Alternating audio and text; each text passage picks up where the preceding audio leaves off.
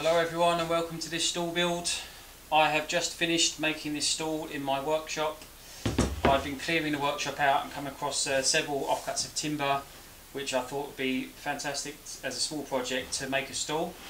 Um, you can follow me through the video and I'll take you through the process of how I've made this fireside stall. Right, so from my workshop, here we have an offcut of beech along with four offcuts of oak these have been pulled out of the offcut pile. They've been in the workshop for a very long time, and all these pieces are going to be the components I'm going to use to make my stall. First things first, this beech is far too thick, so let's head over to the thicknesser. So what I'm looking to achieve in this build is to produce a stall that in appearance is primitive, rustic and has character. So achieving my desired thickness, let's take the beech and head over to the bench. I've just spent some time going over the top of this stall seat. There's, I don't know if you can see on camera, but there are a number of pencil lines on here as I was trying to work as proportionate as possible, um, decide what I what I want to do. But anyway, I what what I have settled on is I'm going to come 40 millimeters in from either side and, and leave that as a flat top. And then that 40 millimeter line, or between these two 40 millimeter lines, I'm going to concave the seat in the middle. And my actual um, leg positions are going to be here, here, here, and here are circled. I've gone with a 15 degree uh, pitch on the legs um, and what I'll be using is my drill guide here. So what I'll do is I'll with the pencil marks I'll film this shortly. We'll line the jig up um, select a Forstner bit to, um, uh, to decide on my uh, tenon size and we'll get these cut. I have my drill guide aligned to the pencil lines as per my setting out on top of the beech also, the drill guide is set at 15 degrees, which is my proposed leg angle. Uh, the deepest point of the concaved seat top is going to be 10 millimeters. So, setting my adjustable square, I've made a mark at that point, and now I can get my steel rule. Because what I've done is line the edge of the clamps up with my pencil marks here and here which means that I can rest my steel rule in place bend that down to my 10 mil and then that allows me to draw this pencil line.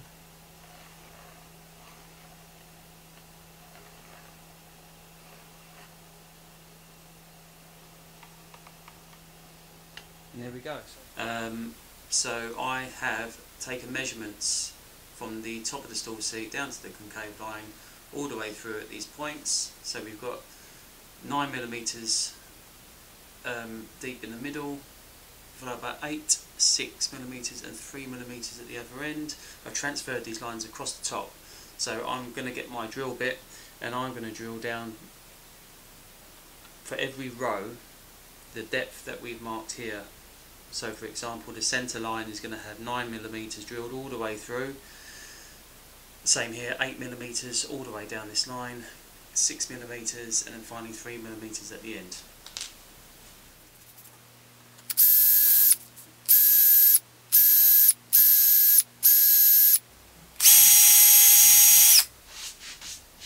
Alright, that's a series of all my 9mm holes. All I've done is use a bit of electrical tape on this drill bit. Um, my other uh, drill bit with the depth stops, um, I can't find that at the moment.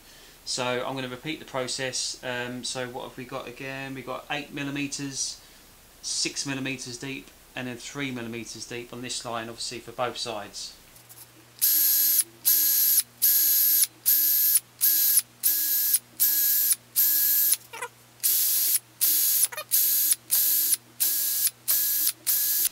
Oh, wonderful. Right, Jax. Jaxie, hello.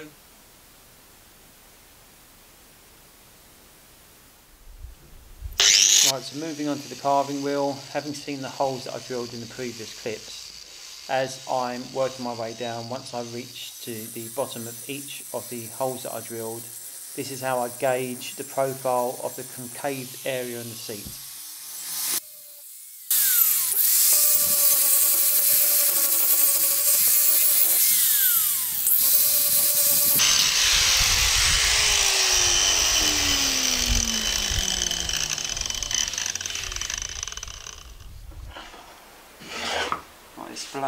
I've just sharpened this, it's actually quite good.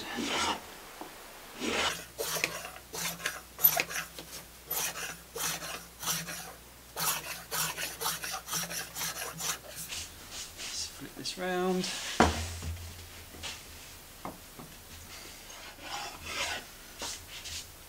Right, liking that. Drop the blade down just a bit, do a bit more. Right, it's a spoke shave to one side. Let's have a go with the scraper.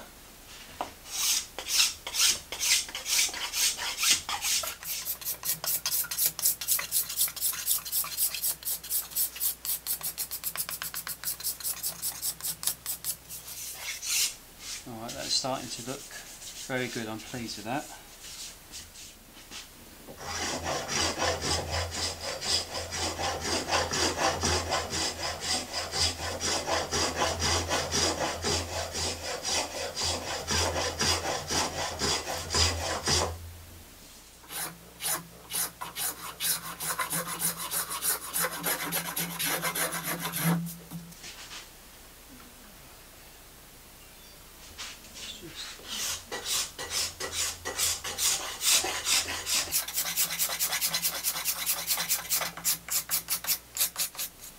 So next I'm going to work on these bow ties. I made these off camera and obviously three of these are going to go for each of these um, splits. I was a bit concerned about this one here. If you look where the uh, mortise is in the seat, ready to take the um, tenon on top of the leg, I was concerned that potentially, but when we hammer hammer the leg in and then hammer the wedge down, it could cause this to split. But that does not go through the thickness of the beech it's just on the surface, so I think we'll be fine with that.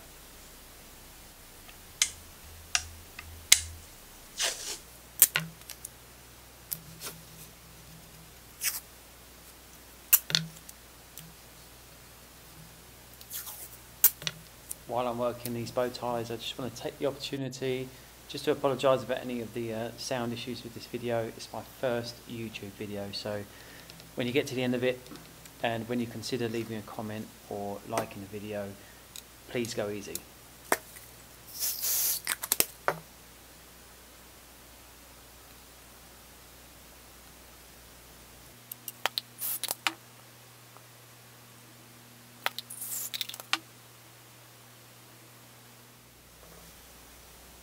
Using my marking knife, I'm just going to carefully score around each of the three bow ties.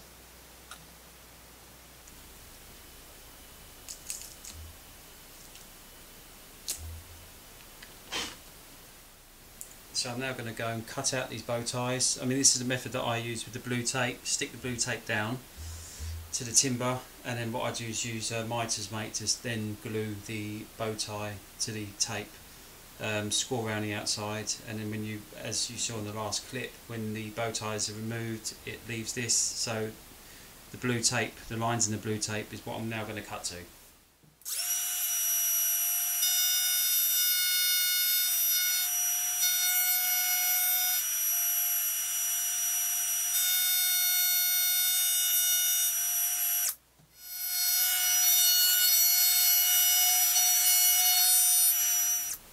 I just thought I'd show you what I do with the trim router. So I've taken out a lot of the material from the centre of where the bow tie is positioned and we'll use the chisels now just to remove the last of the material around the edges up to the, um, the blue tape.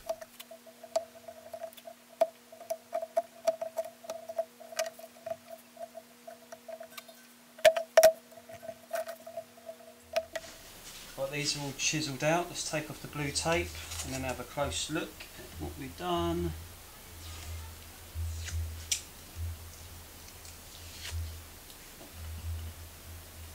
And then what we'll do is we'll um, place them in and see how they fit.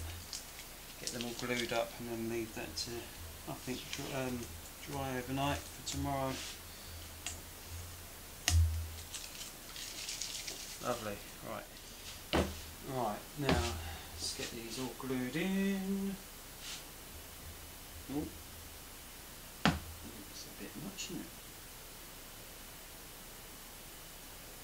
Gonna go and start the barbecue shortly.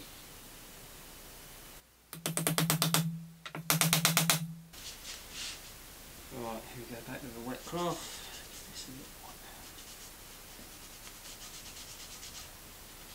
Number two.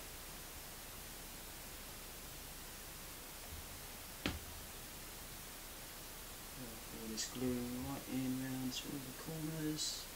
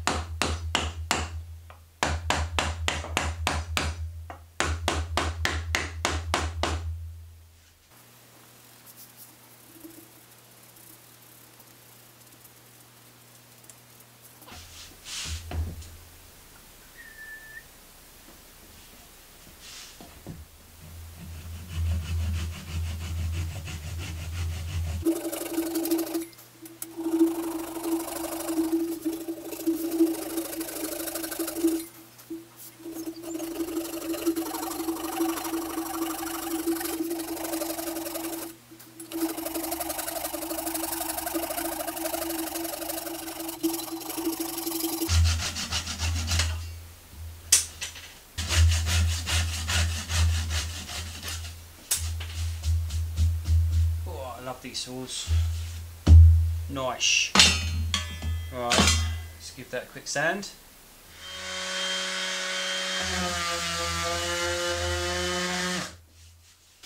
Right, and I quite like using these um, hand sanders.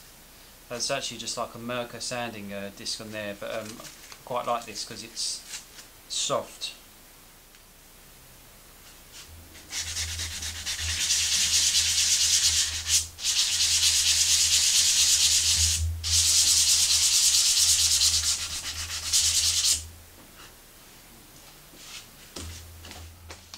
Right, so that's the bow ties all glued in. Uh, flush cut, sanded, and then what I'm going to do now, just for the, just so it gives an idea of what it's going to look like when it's all finished, we can wipe on a bit of methylated spirit. Should bring out that. Look at that. Give you an idea of the contrast between the beech and the um, walnut bow ties. Right, here we go, making a start on the legs. Um, I've actually cut the other three tenons and three shoulders on each of those legs already. This is the last leg. Um, I'm gonna we'll go through how I cut those other ones, uh, the process that I used in in forming my tenons, all by hand. I don't have a lathe by the way. Wish I did, um, but unfortunately I don't. But it's a nice skill anyway to do do these by hand. It's good practice. So yeah, no, we'll we'll, uh, we'll get this one filmed. I wasn't going to film all four legs. Um, I was contemplating on phoning my dad. My dad's got a lathe. Yeah. You alright, Dad? What you up to? Um, you alright if I bring four legs over and uh, to turn turn four tenons? But it just meant jumping in the van, driving over there, um, cutting the tenons, bringing them back back in the workshop, and it's just a lot of faffing around time wise. So we'll, um, well, I've cut three already, so we'll cut the fourth one. Right, so first things first, get something straight. Anything we do, I mean, I've just got my scraper because it's laying on the bench and it's the closest thing to me. So we're going to just go from corner to corner just to mark the centre. Oh, this corner's missing, I might just guess that slightly. Right, there we go. 25 mil Forstner bit. And place that in the middle. Right, and all I'm going to do now is just mark the 25 millimeter uh, circumference.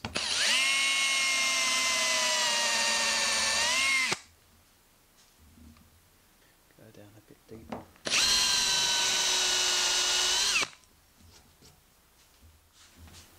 Next thing I'm going to do is just mark the height of these.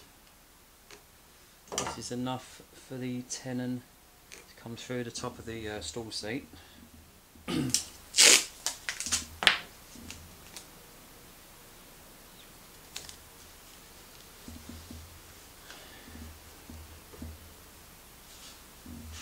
Right, using my square, what I want to do is just mark the edge of my 25 millimeter Forstner mark.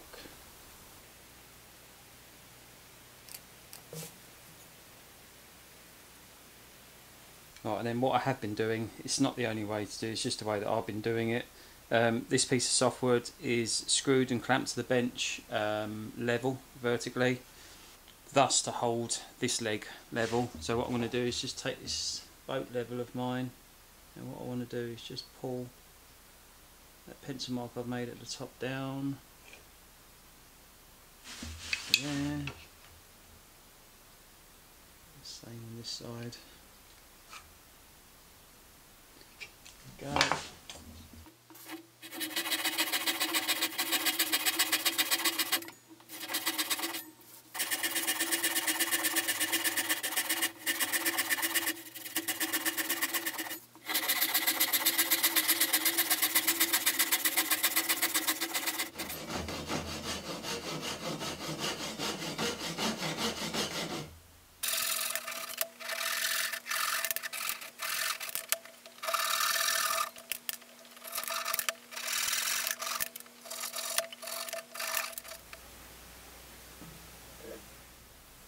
Right, now that we have a rough shape of the tenon, um, we are going to use a combination of a couple of sharp chisels.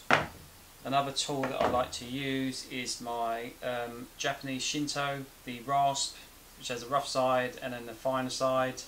With the chisels, I'm going to be looking down on top um, where we can see the uh, the ring 25 millimeter circumference of the Forstner bit that we drilled earlier. We will then now get the chisels and just using that circular mark just take down bits of material at, you know bit by bit. Using the rasp we can go around the edges like so and, and use that to round off. I won't do too much of that just yet. Um, and then another thing that I did was out of a scrap piece of timber I've used the same Forstner bit drill a hole and then as I'm working my way down I can just regularly keep placing this on top just to make sure that I am working to the right um, diameter.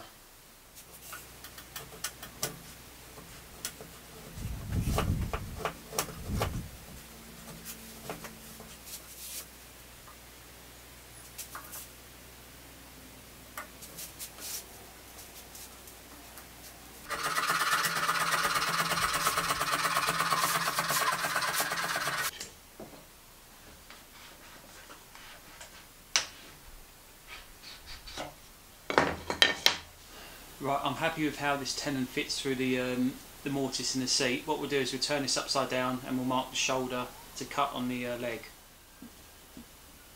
Simply using this scribe tool, I can go around each four sides of the leg and just mark with pencil, as you can see now. Um, that will give me um, an outside line that we can remove the leg from the stall and, um, and then cut the shoulder.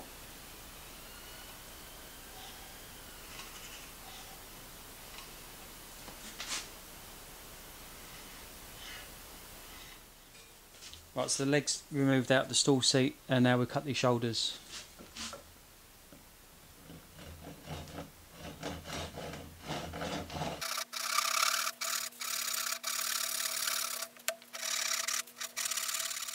Be very careful at this point when using the saw um, as we're cutting on these shoulder lines just be careful with the depth that you cut down to because you do not want to accidentally cut into the tenon because this will compromise uh, the tenon strength.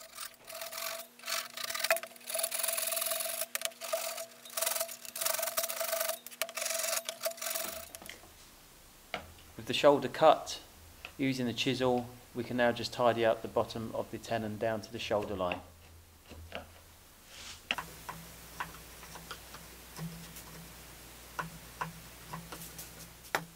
So the shoulder's cut, we dry fit the leg back into the stall seat. I'm really happy with how that looks.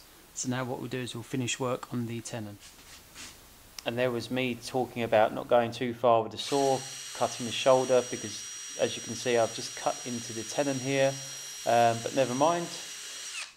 So having just cut the strain relief hole in the tenon, uh, we'll next mark a line for our saw curve cut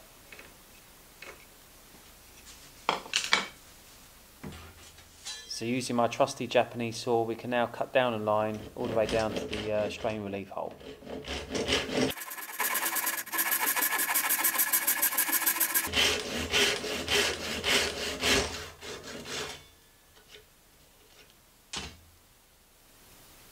Right, what I'm going to do, I'm just going to take my scribe tool here and I'm just going to go around this tenon and pencil line a shoulder, what will be like a circular shoulder. So as I'm shaping these legs, this is the line that I'm going to be working to as I work down the length of the leg to the other end.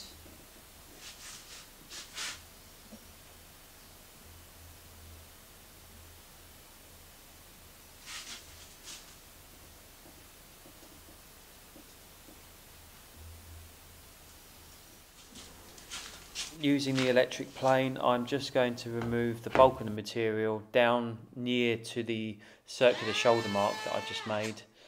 And after we finish with the electric plane, what we'll do is we'll jump back onto the hand tools just to fine tune the shape of the leg.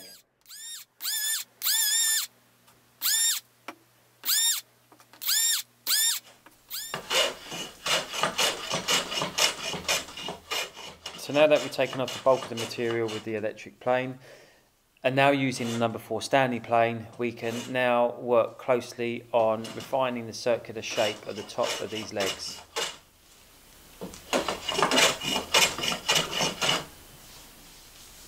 I'm now using the spoke shave. On the squared bottom end of the leg, I'm tapering down to our circular tops.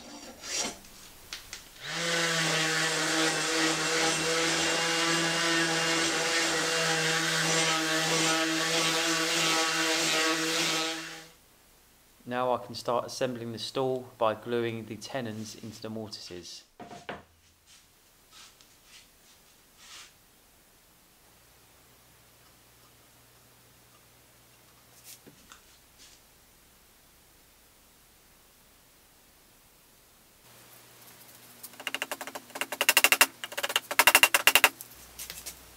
By giving the leg a twist in, we can really work that glue into the mortise.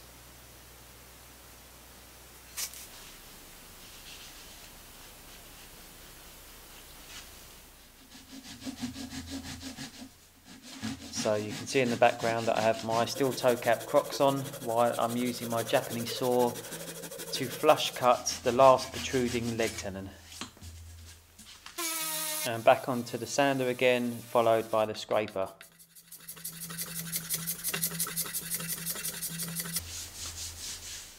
Right, I just want to show you this jig that I've made up and this is for cutting down the stall legs. We're right at the uh, last couple of stages of the build now. Um, but yeah, I've made this, made the jig, the jig I've made to a height that's going to make the stall stand at approximately 12 inches, or 12 inches is what I've measured it out for.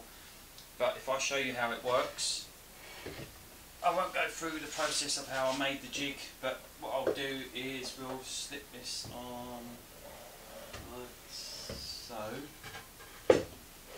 Right, so that will go there I'll push that up against the legs. I'm going to drill the jig down to the um, down to the bench. The stool's already um, all upside down, clamped to the bench top, so that's all nice and secure. And then what I'll do with the uh, Japanese saw is obviously rest, rest the saw on the jig here and cut the two legs off on this side and then we'll move the jig over to this side, do the same and then that will ensure that all these uh, legs are all cut down to the same height so when I flip it upside down and uh, stand it in place, fingers crossed, that all four legs will be touching the, uh, the bench top.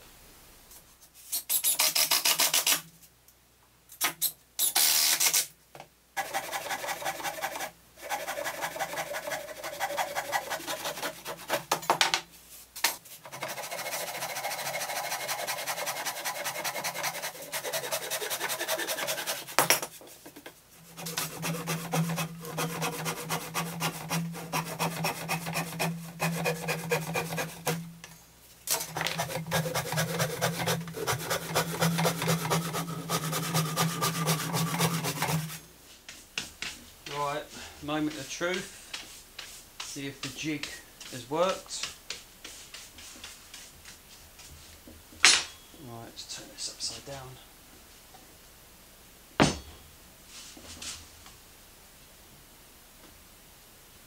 Right, that I'm really happy with. Those legs sit perfectly on that bench top. Right, so here we are, right at the end of this stall build. Super pleased with how that's turned out. I'm going to give this a final sand off camera, and then we'll uh, we'll bring it back to the bench top and give it um, a final coat of something to finish it off.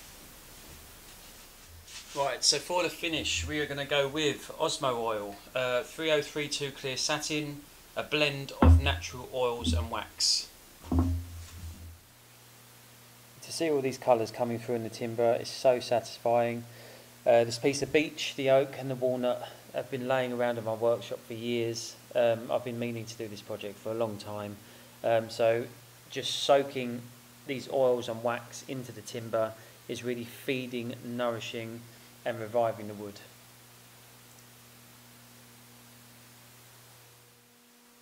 once I've completely covered the stall with this first coat, I, um, I'm going to leave the stall in the workshop overnight for that to all soak in and, um, and dry off. And then what we'll do is we'll come back into the workshop the following day, apply the second coat.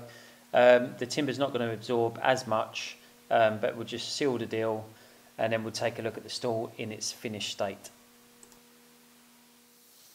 From a few offcuts of timber in the workshop, we now have our completed stall. It's been a lovely little project uh, to do. I hope you've all enjoyed it. If you have enjoyed the video, please do um, give it a thumbs up.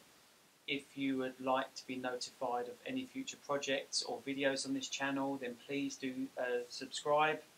I look forward to seeing you all on the next one, and thank you for watching.